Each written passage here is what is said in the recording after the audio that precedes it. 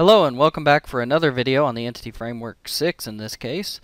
Uh, we're going to be talking about dealing with views in this one. We talked about stored procedures already. We talked about getting the code already. Look in the playlist on the channel if you haven't seen those videos already as you probably want to watch them first. Uh, and always please do subscribe. We appreciate you doing that. Um, what we've got is we've got in our solution the same database uh, what you're going to need to do is you're going to need to right click and you're going to want to update your solution to get the latest version of the code. And that'll give you the latest because after I make this video I'll check in these changes. I'm not doing it now because people are watching these on YouTube and it'll mess them up. Um, but once I'm completely finished I'll update the updated code to the SVN server and we'll go on. So views, what are they? Views are simply a read-only quote. I know you can use stored procedures to modify view data. Uh, you don't do that very often, but you can. But they are a virtual table, in essence, in SQL Server. And they're handy uh, tools because you doing reports and various things like that, there's sometimes a certain amount of data from a relational database that you want to put into a format that you're going to use over and over and over again across applications, boundaries, all kinds of things. So views are handy. So you'll see here on my Server Explorer that I created a view. It's called View Clients. And what it is, is it just grabs a list of the clients and it gets their name and the purchases. Nothing magic. So what we need to do is what? Well, same thing we always do. We need to update our model. And then we're going to need to what? We're going to need to go into our code, define a sort order, and do some various other things. So let's go through it and do it now. It's really, really easy. So first, let's update our model. How do we do that? Well, first, obviously, make sure that the view is here. Um, but you're going to right-click. You're going to go to your EDMX file, this customers entity.edmx. You notice I've already done it, but you're going to right-click and you're going to go to Update Model from Database. And under the ads, it'll be under views. You'll be able to check it and bring it in and hit finish. And that'll bring this view client in. Now, something very important with views, and I guess Entity Framework overall is, remember it created our primary keys for us way back. Well, I normally don't harp on these warnings much, but if we look, we can see that one of the warnings it's given us is that there was no primary key given for the view. So it inferred one. What did it do? Well, it inferred every column was a primary key. Well, that's no good. So that so we need to fix that. So we need to think to ourselves, what is a good primary key? Well, if we look at our definition of this view, what we're pulling down is the purchase ID, right? Well, that just happens to be the primary key of the purchase table, and we know that it's one customer to many purchases. But that purchase ID is always going to be unique. Especially this inner join and the way it's written. So we can go in here and safely go into our model. Here, uncheck entity key. Right click again. Uncheck entity key. Right click. I think you're getting the gist of it and leave the ID as a key.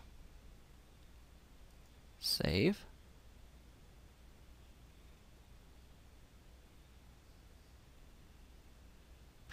And now just take a look at the model browser. Come over here to uh, tables and views. And there's our view. And there is the key ID and everything else is non-keyed. So we're good to go. Alright, we're ready to rock and roll.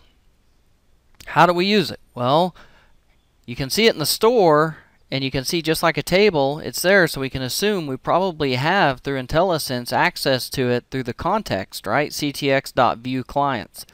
And that would be correct. I've updated the form GUI a little bit to make it a little neater. We've still got the old stuff over here on the left. I left it. Uh, we've got the store procedure where we selected a value and executed it. Now we've got this new one down here for view. But it's very much the same thing. We've got a combo box you select where you can order it by because I wanted to show you how to sort views. and then an execute button where it actually does it. So let's look at the items in here. Uh, we, we could have added more, but amount, purchase, customer's ID, and purchase date. My purchase dates aren't terribly helpful because they're all midnight on the same day. But in the real world, you can imagine how that would be uh, helpful. So we've got case 0, 1, 2, and 3. Now we're not going to, I'm going to go back to my best practices here, and I'm not going to switch the text. I'm going to switch the uh, selected index. 0, 1, 2, and default. So let's go here to execute. You'll notice I put things in regions to make it easier for you to, to know what's going on. There's our using statement. We create our context. this is a little bit new. Uh, we talked about this er earlier, though. It's, it's, it can be an enumerable list. It can be an IORDERable.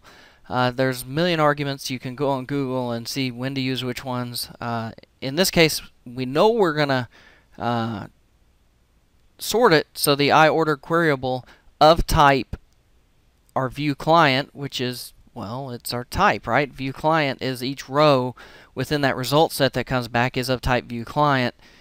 We've got an IORDERable queryable list of them. Alright. Don't want to beat that dead horse too long. We get into our switch statement. Hopefully you've seen a switch statement before where we check to see the selected index. Now in production, again, we would check, and if you didn't select something, we'd show a message box, blah, blah, blah. Not doing that here. Uh, we're just assuming they did do something not stupid. And in case 0, we're going to we're gonna go out, we're to say, look, results is equal to, there's our IntelliSense, I'll prove it here, dot view clients, context dot view clients dot order by value or value dot amount is the sort parameter and break. And you can imagine the rest are the same, just with different amount, customer ID, purchase date.